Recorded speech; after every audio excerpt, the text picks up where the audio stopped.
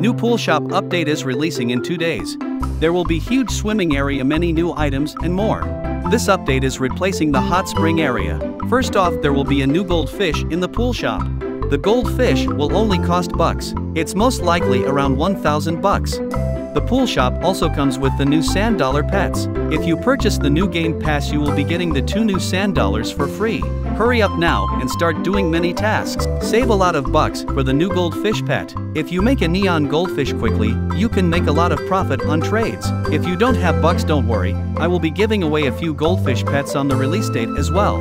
This is your last chance to check out the hot spring before it leaves forever in 48 hours.